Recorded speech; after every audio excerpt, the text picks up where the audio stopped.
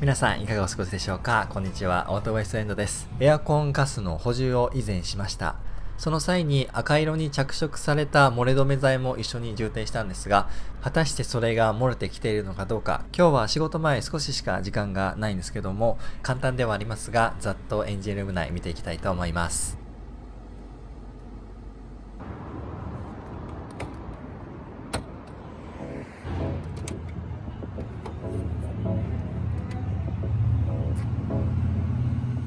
汚いですね。掃除しないと。まずはこのサービスポートから車内のエバポレーターへと続くパイプを見ていきます。おそらくこの裏にエキスパンションバルブがあるはずなんですが、こちらサイドから見る分には漏れはないようです。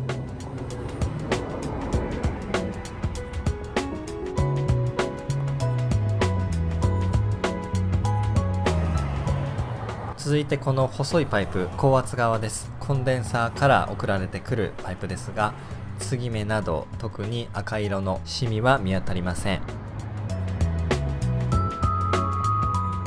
コンデンサーの根元もう一つパイプが出ています。これをたどっていくとコンプレッサーまで続いています。流れとしてはコンプレッサーからこの細いパイプを通ってコンデンサーに冷媒が流れ込むというそういう順序になっています。続いてはサービスポートからコンプレッサーへと続く低圧パイプを見ていきます。大丈夫そうですね。まあ上から見ただけではコンプレッサーの付け根部分それが見えないのでオイル交換を近々する予定なので下のマットガードを外してそちらからまた再度確認したいと思います。続いてエンジン前方を下に潜っていきましてコンプレッサーのプーリー側見ていきます。と赤くなってますよね。これサビなんでしょうか？それとも漏れ止め剤？赤い漏れ止め剤を充填する前にここまで近くでコンプレッサー見ていなかったのでこれどうなんでしょう？補充前はなかったのかな？続いてラジエーターの前方にありますコンデンサーをチェックしていきます。こちらは目に見える怪しい部分というのはありませんでした。というわけで簡単ではありますが今回見たところですとコンプレッサーのシャフト周りが怪しい。ただもうすでに漏れ止め剤の効果で一旦は漏れたもののそこで塞がれている可能性もありますのでしばらく様子を見たいと思います。エアコンちゃんと効いてくれているので、漏れが止まっていることを祈ります。そしてエキスパンションバルブも実際に目で見てみたいんですが、それにアクセスするには一旦ブロアモーターを外して、その周りのパーツを外してということになると思います。その先日交換しましたブロアモーターで一つやってみたいことがありました。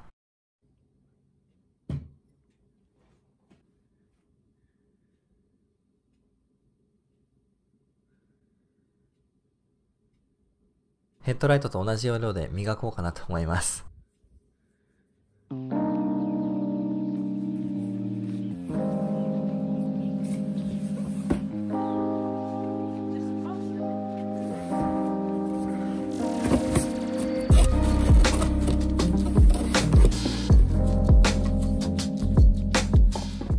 こちら先日交換しましたブロワーモーター、ブロワーファンですが、これ破棄する前に一緒にくっついているレギュレーター風量を調節するパーツですね。それまだ全然使えるはずなのでそれを外してから破棄をしようとそういう宿題が残っていました。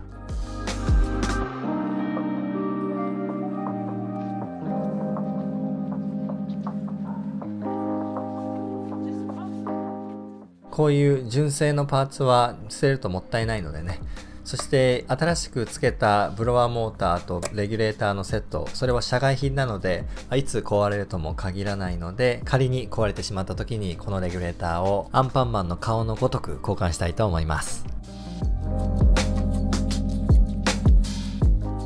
普通に手で回せばいいんですけど、いつも使ってる工具、車に置きっぱなしにしてたんですよね。そしてもう夜も遅いので、手元にあるもので済ませようと。そこで登場したのがオーバースペックなマキタのインパクト。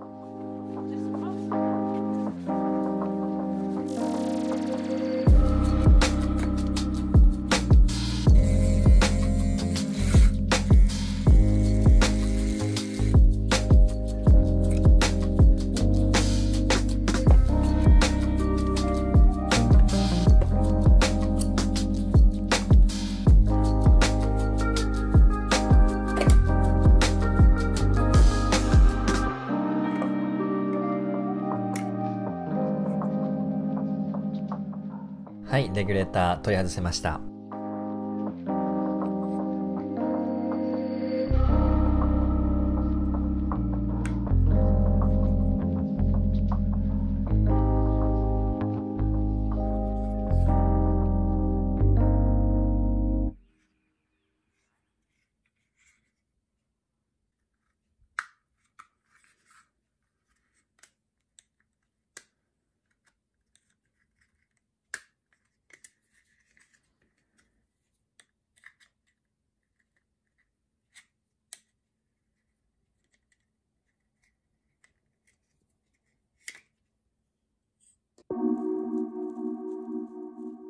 はい、え基板には1000マイクロファラットのコンデンサが3つ、そして、とね、説明する知識もないので、もうそこら辺でやめときますが、はい、基板にバレオと書いてある。なんかそれがおしゃれとだけ説明をさせてください。はい。続いてカバーには2007年8月なのでもうこれはね、新車当時に作られたレギュレーターになります。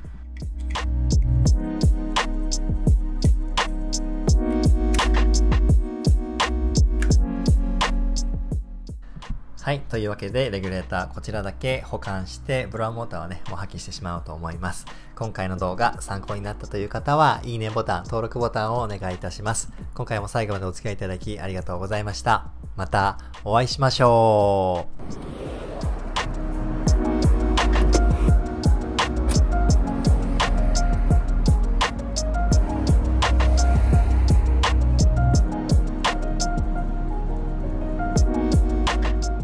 春には綺麗な緑だったここの芝生ももうね寿命が来てしまったようです。結構芝生のサイクルって早いもんなんですね。はい。というわけでそれでは